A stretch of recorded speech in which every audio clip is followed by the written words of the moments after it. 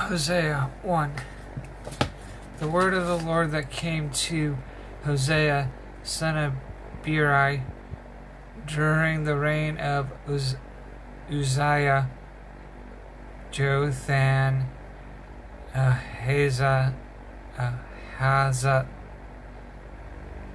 Ahaz, and Hezekiah, king of Judah, during the reign of Jeroboam, son of Jeho- Jehosha, Jehosh, king of Israel.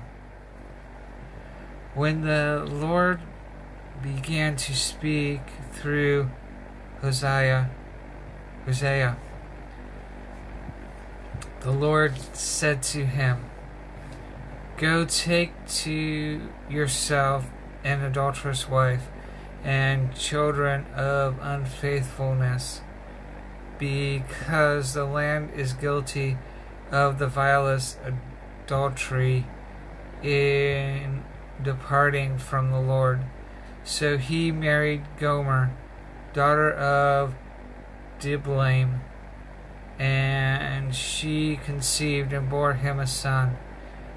Then the Lord said to Hosea, Call him Jeriel, because I will soon punish the house of Judah for the massacre at Jezreel, and I will put an end to the kingdom of Israel.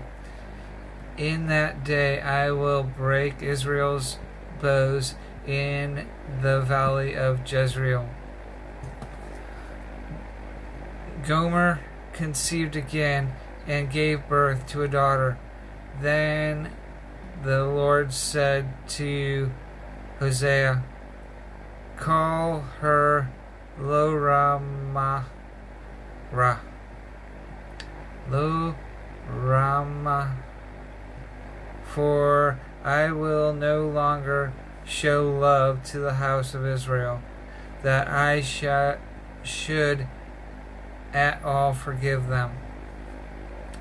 Let yet I will show love to the house of Judah, and I will save them, not by not by bow, sword, or battle, or by horses or horsemen, but by the word of their God.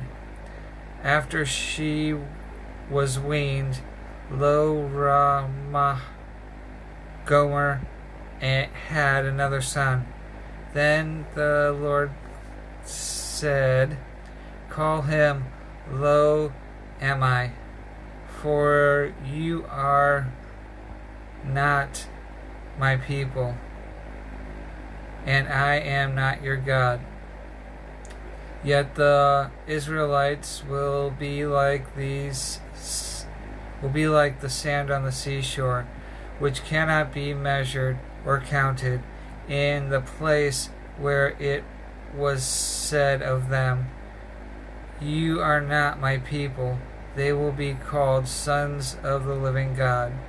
The people of Judah and the people of Israel will be reunited, and they will appoint one leader and will come out of the land.